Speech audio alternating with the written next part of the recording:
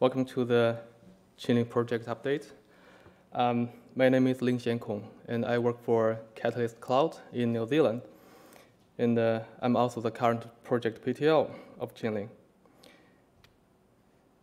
Um, so before I share the project update information with you, um, may I ask you some questions? So uh, if you have ever heard about Qinling before, please raise your hand. Cool, nice.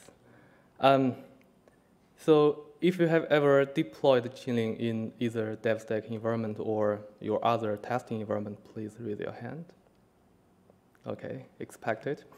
Yeah, so anyway, um, uh, Qinling um, aims at providing a functional service uh, in OpenStack, and you can also call that a serverless platform.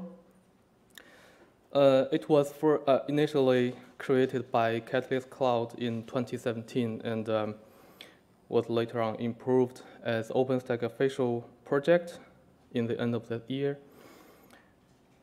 We have uh, our first official release in Rocky, and uh, after this dev, uh, dev cycle with the second one. And as for now, uh, there are uh, two companies, the Catalyst Cloud of New Zealand and AW Cloud uh, in China are the two companies who have done most of the contributions to the project. So as a small project with a small group of people, uh, basically we have uh, complete most of the basic functionalities in last release. Uh, so this is uh, what we have done in this dev cycle. Um, the first, uh, uh, basically we, are, we have been focused on several things such as uh, the feature enhancement, the documentation, and the security, and also the UI, the dashboard. The first is Python 3.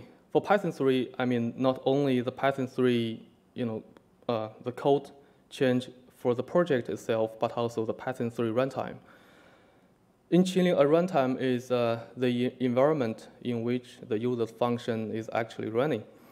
Um, we all know that Python 2 will be dead in 2020, so there will be a lot of more uh, code written in Python 3.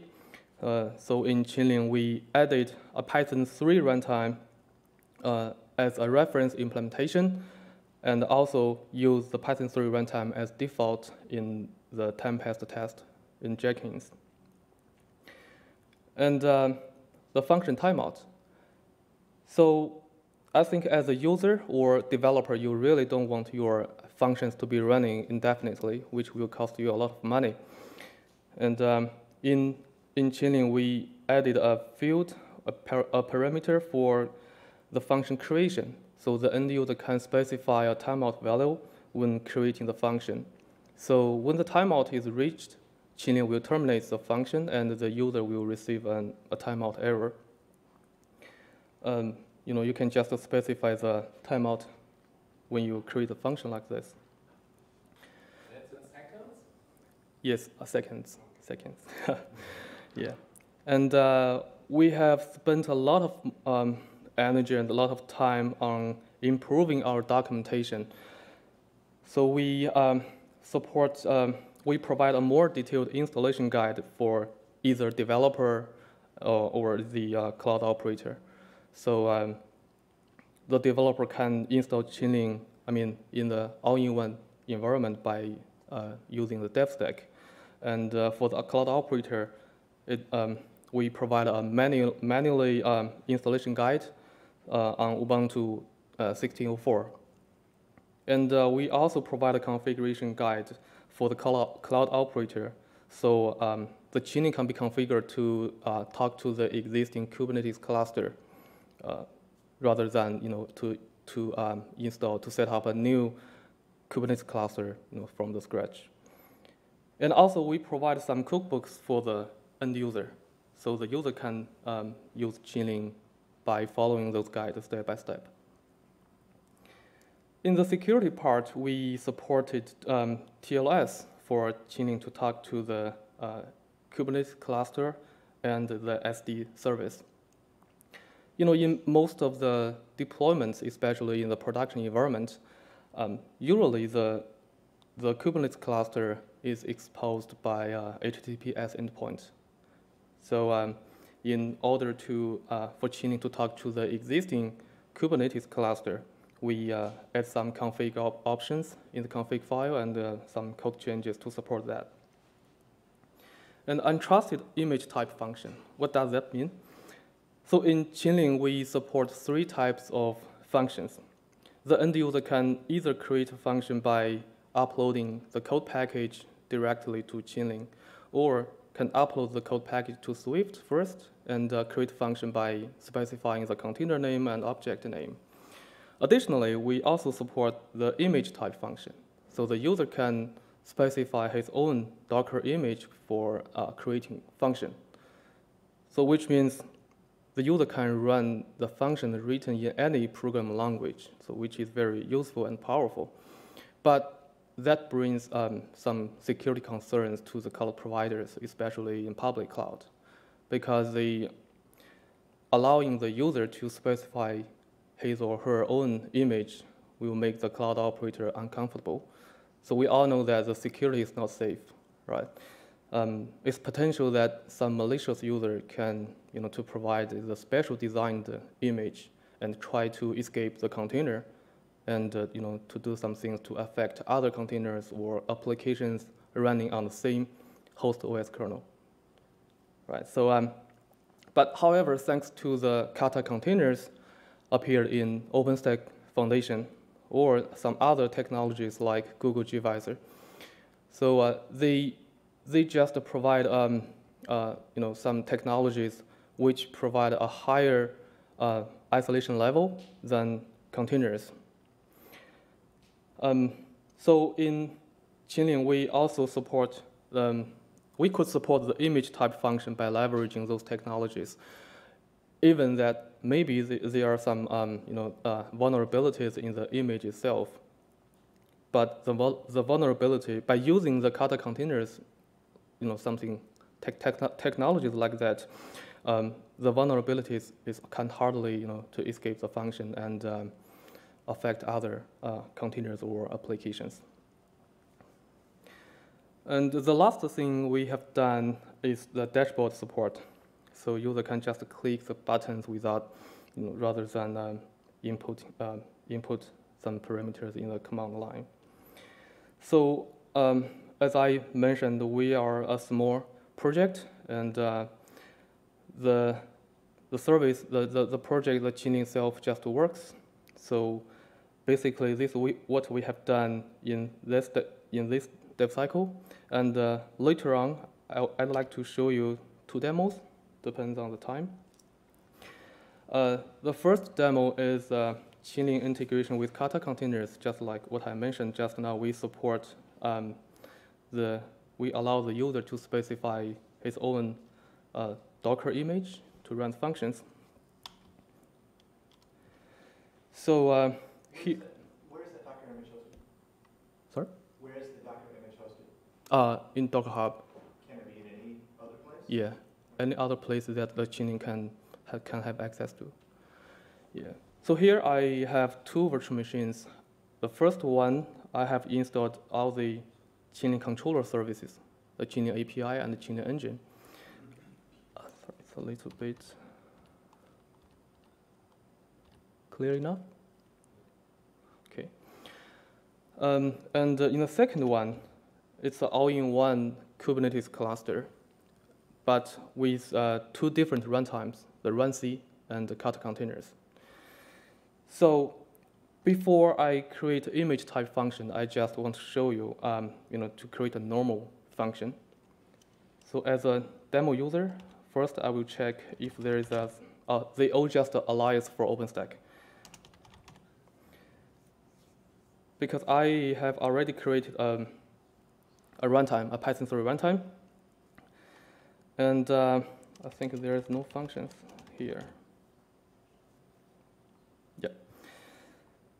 And first, I will create a, a normal function. Uh, first, I will show you, because I have a Python code here, it's very simple. Just print, print hello Berlin. So I will create a function using that file. And uh, for the function creation, the first uh, parameter I need to specify the runtime. Runtime ID.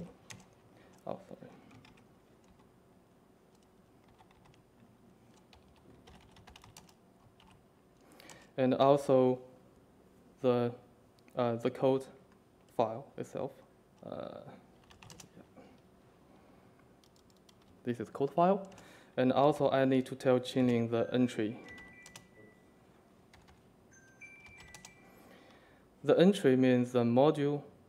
So if you are if you know how to coding in Python, you know the module name is the file name itself, and also the function name.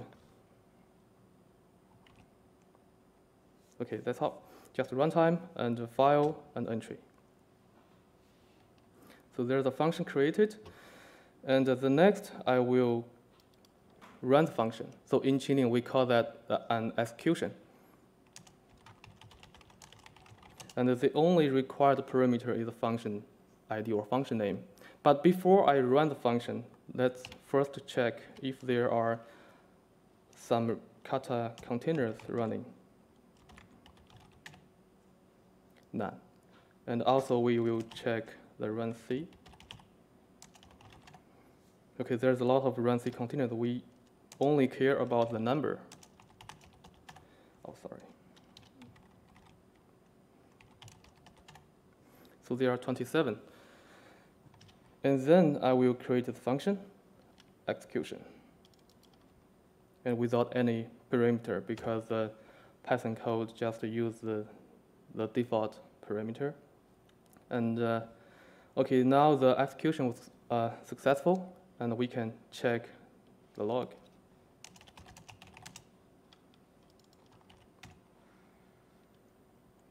It's just to print the, you know, the start execution and then the function output and uh, finish, finished execution. So now we check if it's kata container or the runc container. So we still check the kata container, no, right? And uh, the runc, I think there will be still 20, or still, still 27 because we have the, we already created the, the runtime and the runtime under the hood there there are some you know containers running already running. So if we uh, take a look at the Kubernetes pod, we can see there are already some pod. Yeah. So now what I'm going to do is create a function using the image, which is here. Um, yeah. Okay. Just do this command line. So this time we only specify the image, the image name, right? And we also specify the, the timeout because we don't really want the function to be running indefinitely. And uh, we just create the function. Okay. Now, just as the last function, we create the execution. Still the function ID. So what Qinling gonna do is to pull the image and uh, uh, execute the image according to your code inside the image. So now the execution was, was successful. We still want to check the log see if there's some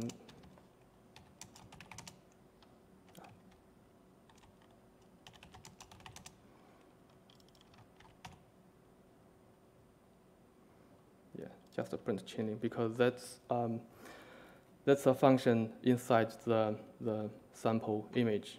And now if we look at if there's kata containers created.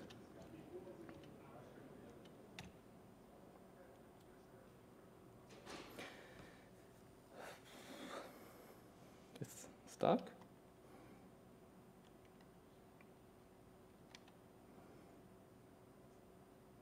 Hmm, the command is just stuck.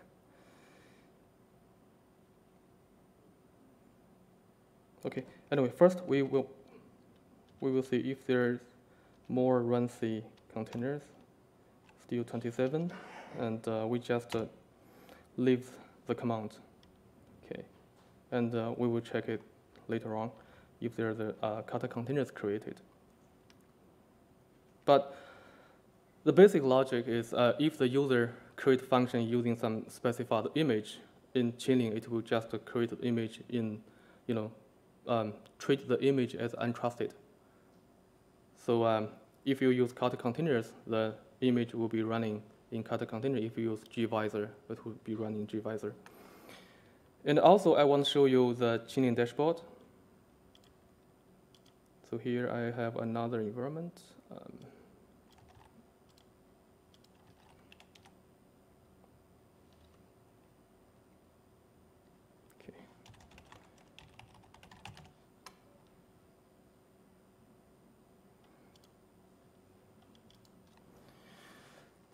So this is another uh, installation. So I also created the Python 3 runtime, and I think there's no function yet.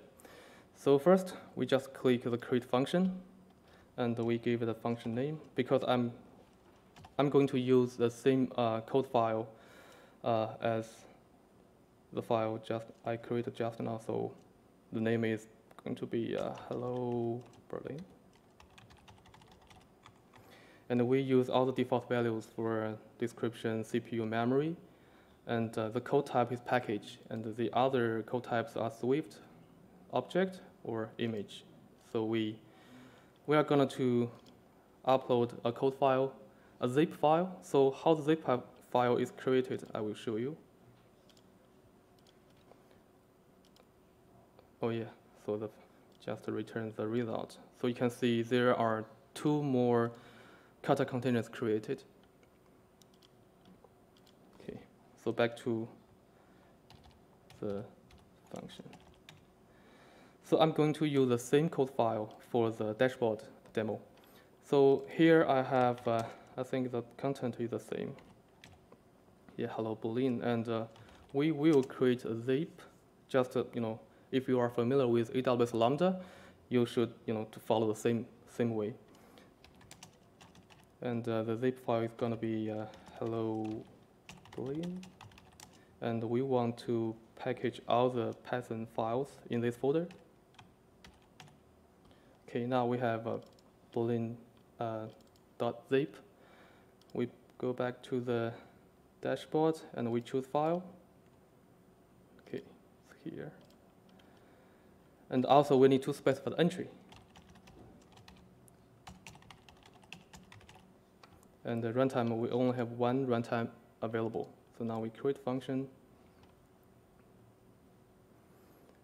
And if we want to run the function, we need to create execution by specify the function identifier. Because we only have one function, so it's already selected. And uh, input nothing.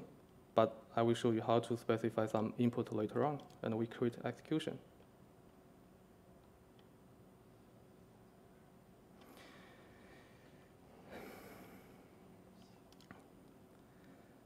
Its status is success.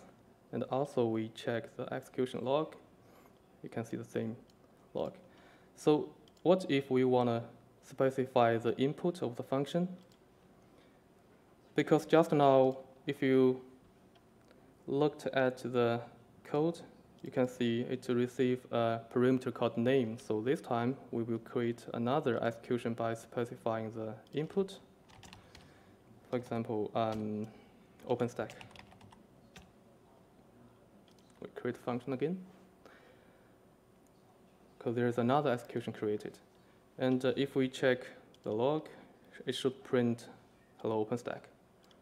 Okay. So this is a demo that I want to show you today. And uh, looking forward to the future, there are still a lot of more things we need to do. Uh, the first is function metrics. Um, because we, as public cloud provider, we need to charge the customer according to the function um, resource usage, for example, the CPU or the memory. And also, uh, the function metrics, metrics can help the, the function developer to debug his own code, right? And also retries, you know, how to um, handle the exceptions properly, either inside Qinling or outside of Qinling. And advanced auto scaling.